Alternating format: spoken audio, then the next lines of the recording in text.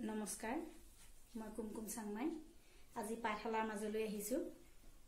তোমালোকে সকলোৱে গম পোৱা যে বিশ্বত কৰোণা ভাইৰাছ কভিড নাইণ্টিনৰ যি আতংক সেইবাবে আমাক লকডাউন দিছে। আৰু আমি প্ৰত্যেকেই বিদ্যালয়লৈ যাব নোৱাৰি ঘৰৰ মাজত আবদ্ধ হৈ পৰিছোঁ। তোমালোকৰ যথেষ্ট ক্ষতি হৈছে। সেয়ে মই ভাবিলোঁ যে আজি পাঠশালাৰ মাজেদি মই তোমালোকক ব্যাকৰণৰ এটা সৰু কথা শিকাম। আজি তোমালোকক মই পঞ্চম শ্ৰেণীৰ ব্যাকৰণৰ এটা পাঠ আগবঢ়াম বুলি ভাবিছোঁ। ইতিমধ্যে তোমালোকে পদৰ বিষয়ে শিকিছা। পদ পাঁচ প্ৰকাৰ।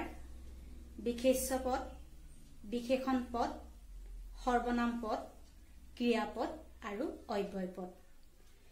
বহুতে আকৌ অব্যয় পদক পদ বুলি নকৈ অব্যয় শব্দ বুলিহে কয়। অব্যয় পদক কিয়নো শব্দ বুলি কয়? সেই বিষয়ে মই তোমালোকক ক'ম। কিন্তু তাৰ আগতে মই তোমালোকক কেইটামান অব্যয় শব্দযুক্ত হৈ থকা বাক্য ক'বলৈ ওলাইছোঁ। তোমালোকে মন কৰিবা।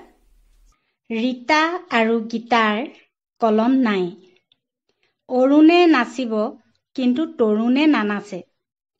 দেউতাক যদি মাতা মই যাম। পাহি নাইবা পাপৰি যিকোনো এজনী আহিব। মই কোৱা বাক্যকেইটাত আৰু কিন্তু যদি নাইবা এই শব্দকেইটাত বিভক্তি যোগ হোৱা নাই আৰু কাহানিও নহয়। এই শব্দকেইটাক আমি সকলোতে একেধৰণেই পাম। ইয়াৰ কোনো পৰিৱৰ্তন নহয়। যিবোৰ শব্দত বিভক্তি যোগ নহয় যিবোৰ শব্দ কাহানিও পৰিৱৰ্তন নহয় যেনে শব্দ তেনেই থাকে সেইবোৰ শব্দকে অব্যয় শব্দ বোলে আকৌ মন কৰিবা যিবোৰ শব্দত বিভক্তি যোগ নহয় যিবোৰ শব্দ কাহানিও পৰিৱৰ্তন নহয় যেনে শব্দ তেনেই থাকে সেইবোৰ শব্দকে অব্যয় শব্দ বোলে। এতিয়া তোমালোকে কেইটামান অব্যয় শব্দ মন কৰাচোন মই তোমালোকৰ বাবে চাৰ্টত প্ৰস্তুত কৰি আনিছোঁ। এতিয়া তোমালোকে এই শব্দ চাৰ্টখনলৈ মন কৰা। অব্যয় শব্দ। ইয়াত মই কেইটামান শব্দ তোমালোকৰ বাবে লিখি আনিছোঁ। বা অথবা নাইবা নতুবা কিম্বা আৰু এতেকে কাৰণ তথাপি অথচ নে নেকি তেনে বাৰু জানো গতিকে যিহেতু হেৰি কিন্তু দেখোন হেৰৌ। চি চি। আহ উহ বা বা ইত্যাদি। তোমালোকে তোমালোকৰ পঞ্চম শ্ৰেণীৰ অংকুৰণ পাঠ্যপুথিখন মেলি লোৱা। পঞ্চম শ্ৰেণীত এপ্ৰিল মাহত পঢ়াবলগীয়া নিৰ্ধাৰিত পাঠ আছিল পিঠাৰ মেল। তোমালোকে আশা কৰোঁ এই কবিতাটো মুখস্থ কৰিছা আৰু ইয়াৰ প্ৰশ্নবিলাকো ঠিক সুচাৰুৰূপে কৰিছা কিন্তু ইয়াৰ শেষত পঁয়ত্ৰিছ পৃষ্ঠাত এটা প্ৰশ্ন আছে যে নাওখনত দিয়া অব্যয় পদেৰে তলৰ বাক্যকেইটা সম্পূৰ্ণ কৰা। ইয়াত দিয়া আছে এতেকে গতিকে নাইবা যিহেতু দেখোন কিন্তু আৰু বা। এতিয়া তোমালোকে মন কৰিবা যে প্ৰথম বাক্যটোত দিয়া আছে ক ৰমলা খালী ঠাই ৰহিমলা দুই বাই ভনী আমি এতিয়া মন কৰিব লাগিব যে ওপৰৰ পৰা কোনটো শব্দ আনিলে বাক্যটো শুৱলা হ'ব আৰু শুদ্ধ হ'ব। আমি গম পালোঁ যে ৰমলা আৰু ৰহিমলা দুইজনী বাই ভনী গতিকে এইটো আমি ৰমলা আৰু ৰহিমলা দুয়ো বাই ভনী বুলি লিখিলে শুদ্ধ হ'ব। খত দিয়া আছে বিদ্যাই পৰম ধন খালী ঠাই মনোযোগেৰে পঢ়া শুনা কৰিব লাগে। মই যদি কওঁ বিদ্যাই পৰম ধন দেখোন মনোযোগেৰে পঢ়া শুনা কৰিব লাগে। বাক্যটো হৈছেনে বাৰু? নিশ্চয় খোকোজা লাগিছে নহয়নে?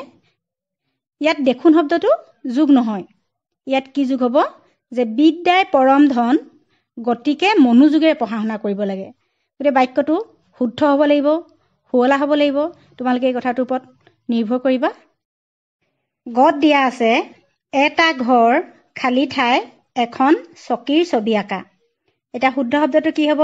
যে এটা ঘৰ নাইবা এখন চকীৰ ছবি আঁকা। ঘ কাহিনী শুনিও খালী ঠাই ৰস পোৱা যায়। কাহিনী শুনিও দেখোন ৰস পোৱা যায়। উঙত দিয়া আছে মই আজি খেলিবলৈ নাযাওঁ। খালী ঠাই কাইলৈ মোৰ পৰীক্ষা আছে। এতিয়া ইয়াত কোনটো শুদ্ধ হ'ব? যে মই আজি খেলিবলৈ নাযাওঁ যিহেতু কাইলৈ মোৰ পৰীক্ষা আছে। এইদৰে তোমালোকে বিভিন্ন ধৰণৰ অব্যয় শব্দ যোগ দি বাক্য লিখিবলৈ শিকিবা। এতিয়া তোমালোকক মই পদৰ বিষয়ে থকা এটা কবিতা গাই শুনাম শুনিবা। বিভক্তিযুক্ত হ'লে শব্দ পদ নাম পায় প্ৰত্যেক পদৰে বাক্যত আছে নিজা ঠাই বিশেষ্য বিশেষণ ক্ৰিয়া আৰু সৰ্বনাম লগতে অব্যয় এয়া পাঁচ পদৰ নাম। এতিয়া মই যে তোমালোকক কৈছিলোঁ অব্যয় পদক পদ বুলি নকৈ অব্যয় শব্দ বুলি কয়। ইয়াৰ কাৰণটো কি শুনা? আমি জানো যে পদৰ লগত বিভক্তি যোগ হয়।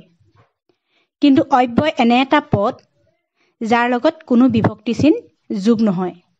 আৰু বিভক্তি যোগ নহ'লে পদ হ'ব নোৱাৰে। সেইবাবেই অব্যয়ক পদ নকৈ অব্যয় শব্দ বুলিহে কোৱা হয়। এতিয়া তোমালোকে নিশ্চয় কেইটামান অব্যয় শব্দৰ বিষয়ে শিকিলা লগতে অব্যয় শব্দনো কাক কয় সেই বিষয়ে জানিলা।